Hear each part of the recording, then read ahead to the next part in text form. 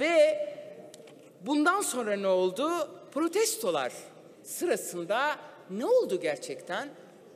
Faşist, paramiliter, Hizbul kontra güçleri destek aldılar. İktidar kışkırttı bunları ve engellemedi.